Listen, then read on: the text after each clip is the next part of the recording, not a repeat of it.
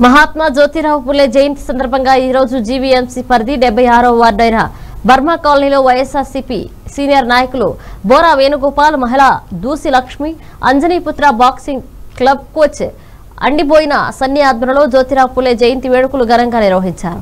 ఈ కార్యక్రమానికి ముఖ్య అతిథిగా డెబ్బై ఆరో వార్డు వైఎస్ఆర్సీపీ అభ్యర్థి దొడ్డి రమణ ఎస్సీసీఎల్ ప్రధాన కార్యదర్శి మార్టుపూడి పరదేశి ముఖ్య అతిథులుగా పాల్గొని చిత్రపటానికి పూలమాలలు వేసి నివాళులర్పించారు.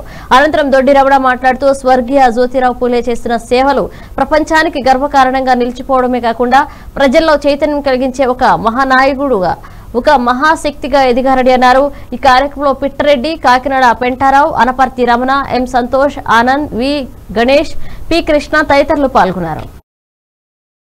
జోహార్ మహాత్మా పులే.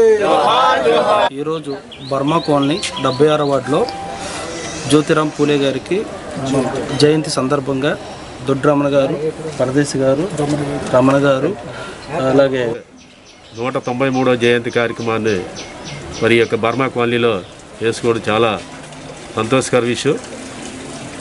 మహాత్మా జ్యోతిరావు పూలే గారు మరి ఆ రోజుల్లో అంబేద్కర్ లాంటి వారికి సలహాలు సూచనలు ఇచ్చి గురువుగా మరి అంబేద్కర్ గారికి రాజ్యాంగాన్ని కూడా ఎలాగ రాయాలి అనేది సూచనలు సలహాలు ఇచ్చిన మహానాయకుడు మహాత్మా జ్యోతిరావు పూలే. కానీ ఈ మరి ఆయన కూడా ఆయన జ్యోతిరావు పూలే గారు మరి ఆయన భార్యను కూడా ఒక చదివించి ఆవిడ చదువు చెప్పి ఆయనే చదువు చెప్పి ఆయనే ఆవిడ టీచర్గా మహిళలందరూ కూడా ఇంట్లో ఉండే పరిస్థితుల్లో భయభ్రాంతులు గురి చేసే గురయ్యే పరిస్థితుల్లో రోడ్డు మీద తిరగలేని పరిస్థితుల్లో వాళ్ళ ఆవిడని కూడా చదువు నేర్పి టీచర్గా తయారు చేసి మహిళలందరూ కూడా రోడ్డు మీదకి వచ్చి మహిళలు రిజర్వేషన్ల గురించి పోరాడుతున్నారంటే మరి సావిత్రిబాయి పులే గారు ముందుగా అందరికీ నమస్కారం.